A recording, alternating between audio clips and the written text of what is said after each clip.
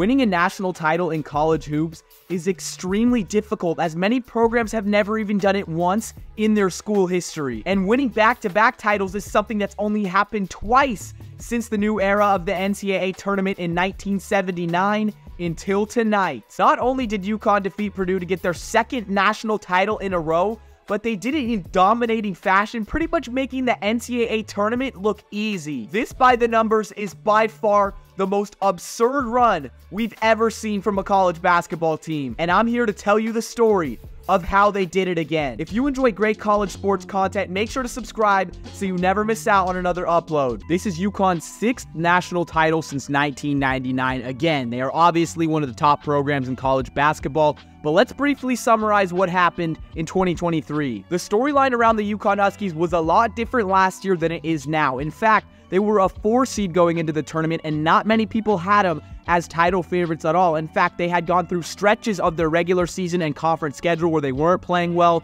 They had lost three games in a row, and they lost the semifinals in the Big East tournament to Marquette. As the Huskies went into the NCAA tournament, they were 25 and 8 but none of that mattered because they went in there and absolutely dominated everyone, winning every single game by 15 points or more. One of the craziest runs we've seen in history. Even in the championship game against number 5 seeded San Diego State, they won by 17. This performance garnered them plenty of expectations going into the 2024 season, and of course, the most important factor for a defending champ or any team going into a new season is who are you keeping and who are you losing. We are going to get into that in a second, but first we're going to talk about head coach Danny Hurley. Coach Hurley took over for UConn before the 2018 season, Previously, he had coached at Rhode Island, and the reason why he was coming in because there was a little bit of a scandal with last head coach for UConn, Kevin Ollie, but it was a completely new era. Hurley's first two seasons with the Huskies were nothing special. He went 16 and 17 in 2019, and then in 2020 they went 19 and 12. They were a little better. They were a bubble team, possibly could have made the tournament, but of course COVID happened and no one played. 2021 is when things really started to shift. First of all, UConn joined back into the Big East Conference after playing in the American since 2013. They had a better year. They went 15 and 8, made the NCAA tournament, but unfortunately they lost in the first round. In 2022, they were better, but they did the same exact thing with the first round exit. And of course, 2023, we know what happened. They went all the way. Although Danny Hurley hasn't been coaching that long, only since 2010, he has a 291 and 163 record. He brought two Rhode Island teams to the NCAA tournament where they got wins and moved on to the round of 32. And of course, he's doing his thing with UConn. So let's get into the production that they lost from the 2023 Natty team and move into what they were getting for 2024. Three players who started in the title game versus San Diego State were moving on to pro careers. First, their leading scorer, Adama Sanogo, who had 17.2 points per game and also 7.7 rebounds. He went undrafted, but eventually signed with the Chicago Bulls, and he got a two way contract. Next, they lost their guard and great shooter Jordan Hawkins, who went number 14 in the draft. He averaged 16.2 points, 3.8 rebounds, and 1.3 assists.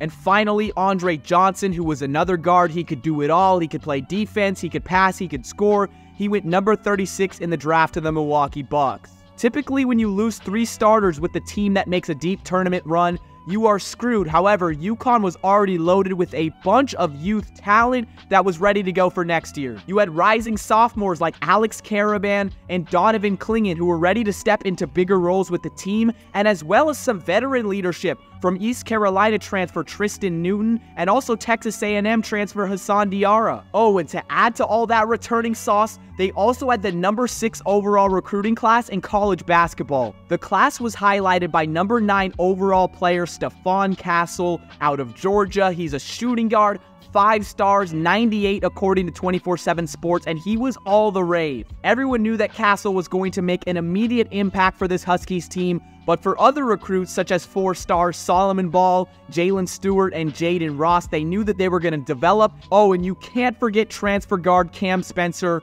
coming over from Rutgers, and he did his thing. 2024 was a lot different from 2023 because this time the Huskies had expectations, a lot of them. In fact, They were ranked number 6 in the AP poll to start the season, and they quickly lived up to the expectations, going 10 1 in non-conference play, including ranked wins against Texas, North Carolina, and Gonzaga. Unfortunately, they went on the road to Kansas to play in Phog Allen Fieldhouse and came up just short, but we know that Kansas team at the time when they were fully healthy were amazing, and it is very hard to win in Phog Allen. What was made very apparent about this team was the depth of their roster. On any given night, a new player could be the leading scorer. It was Karaban going off. It was Newton. It was Clingan. It was Spencer. Everyone was doing it. But in the first game in Big East Conference play, they actually went on the road to face Seton Hall and got blown out, losing by 15. This was completely unacceptable, as Danny Hurley said. They were 10 2 overall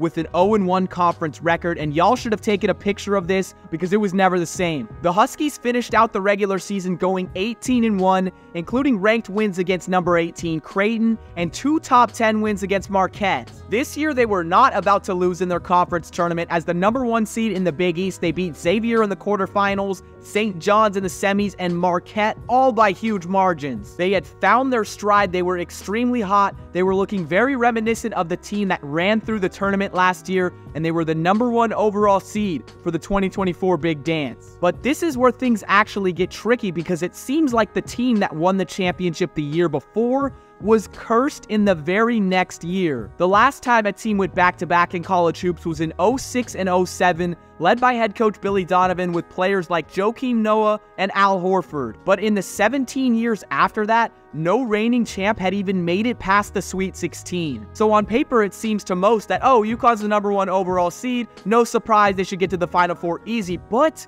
it's actually very, very difficult to do when you win the year prior. But for reasons that I mentioned prior, the coaching staff, the collective roster, this team is built different. First, I'll take it round by round and see who they beat to get to the championship game, and second, we will talk about that margin of victory because it is unreal. In the first round, they beat 16 seeded Stetson, no problem. Nope. No FDU, no UMBC stuff. Then in the second round against number 9 Northwestern, a great team by the way, they won 75 to 58. Then in the Sweet 16, a rematch of the title game with 5th seeded San Diego State. They won by 30 points. Then in the Elite Eight, they were facing three seeded Illinois with a great offense. They won 77 to 52. Yes, they held that offense to 52 points. Oh, yeah, one little thing. They went on a 30 to 0 run in that game against the Illini. Then in the Final Four with four seeded Alabama, no one expected them to get there. They won by 14 beating the spread yet again, no problem. Although this game was close, they pulled away at the end. After the game against Bama, UConn was already the first program ever to win 11 consecutive NCAA tournament games by double digit margins. And tonight it is set in stone after beating Purdue and getting the back to back national titles. According to the numbers, the margin of victory, it is the best tournament run ever seen. And did we need numbers to know that? Come on, guys, we didn't. Even if you watched only 10 minutes of a UConn game this season, you can tell that is something special. But before I end out this video, will I be in the same exact spot in April of 2025 making a three-peat video on UConn? Well, we will see. According to NBA draft experts, Clingan, Karaban, Castle, and Newton all have a chance to go in the first round. That was the story of the most dominant team in college basketball history. Thank you guys so much for reaching the end of the video. I've been Saturday Shenanigans, and I'll see you guys soon.